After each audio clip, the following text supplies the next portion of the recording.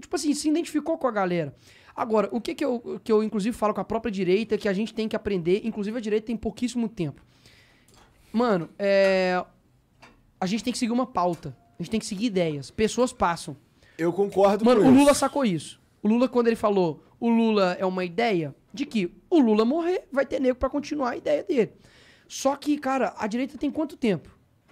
Quanto tempo que a gente ouviu falar de Olavo, de Roger Scruton, Russell Kirk, de Jordan Peterson? Pouquíssimo tempo. Então, assim, em 1917, Revolução Russa, cara, nego se matava entre si pra ter o poder.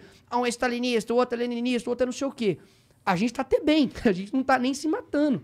Então, assim, vai ter divergência, vai ter gente dentro da pó-direita discordando do Bolsonaro, chamando ele de frouxonário, um monte de coisa. Só que, tipo assim, cara, eu me coloco numa posição, sendo sincero, humilde, de reconhecer assim, pô, eu faria melhor, eu tenho bagagem suficiente, é, quais, são, quais são as coisas que eu tô contribuindo pra poder é, é, melhorar, entendeu? Mano, no meu espectro, naquilo que eu fui chamado pra fazer, eu tô dando meu gás, eu tô dando meu máximo. Tipo, finais de semana, e por que, que eu falo que eu prezo muito pela agenda cultural? Eu tenho uma palestra chamada O Cristão e a Política. Que os pastores ficam com medo, com medo assim, tipo, você vai falar do Bolsonaro? Eu falo, não. Tipo, eu não falo Bolsonaro, eu não falo a palavra governo. Eu não peço voto. Cara, eu falo sobre pautas. Por que, que os caras não estão preocupados em falar sobre contra o feminismo? Cara, o movimento tá matando criança dentro do ventre. Por que, que não tá falando sobre ideologia de gênero, pronome neutro? Tá ligado? Será que tem problema isso mesmo? Quais são os perigos disso? Ou se só uma balela conspiratória da direita? Vamos discutir isso, cara. Vamos crescer, vamos avançar agora.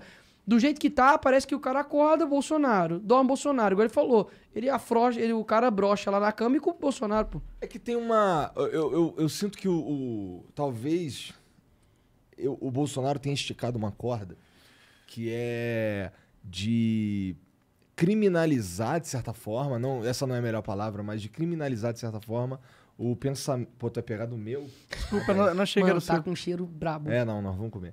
É, ele tem criminalizado pensamentos de esquerda, tá ligado? No sentido que, assim, eu entendo que você. Eu entendo todas as suas convicções pra ser um cara é, anti-aborto, por exemplo. Hum. Mas tu não acha que essa discussão é uma discussão legítima de se ter na sociedade? Total. É uma discussão legítima de se ter na sociedade. As Com pessoas certeza. podem discordar em quase tudo. É, Mas será que ele, tipo, criminaliza a discussão ou ele criminaliza, tipo, o aborto, sacou? Tipo assim. Eu acho que ele, que ele pega a discussão e transforma assim, ó, se você acredita nessa porra, pô, você não é do bem. Eu, eu- é assim, talvez eu esteja exagerando. Criminalizar não é a melhor palavra. Mas assim, é, Demonizar, né? quando a gente pega e estica demais o discurso nesse sentido, o outro lado rebate do mesmo jeito. Eu acho que